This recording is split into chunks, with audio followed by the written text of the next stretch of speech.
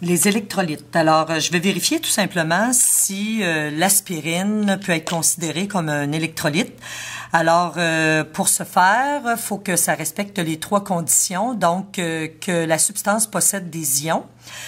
Par la suite, la deuxième condition, c'est que ces ions-là deviennent mobiles. On peut faire tout simplement, c'est d'ajouter de l'eau distillée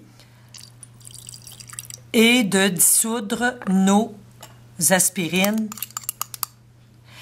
une fois dissous, donc lorsqu'on retrouve la solution d'aspirine, il nous reste à effectuer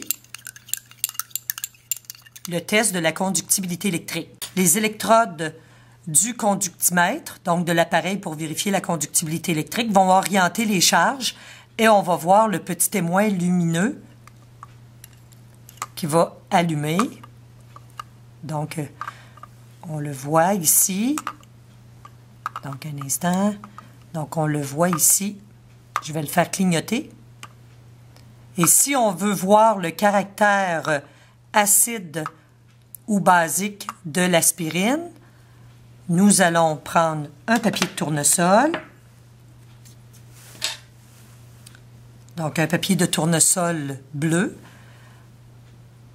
Et voilà, une fois trempé dans la solution d'aspirine, on peut voir que le caractère acide, donc le papier de tournesol bleu est devenu rouge, s'est révélé. Donc le caractère acide, c'est un acide en solution, c'est donc aussi une substance électrolytique.